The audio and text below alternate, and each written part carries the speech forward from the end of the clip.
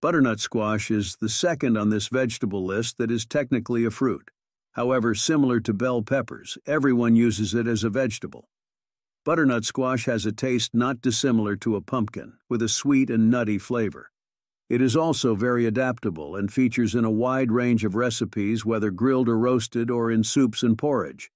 With a bright orange flesh, this squash is also very high in vitamin A calories, 40 kilocalories carbohydrate, 10 G fiber, tilde, G sugar 2.0 G fat 0.1 G protein, 0.9 G vitamin A, 223% RDA vitamin C, 25% RDA manganese, 9% RDA potassium, 8% RDA magnesium, 7% RDA,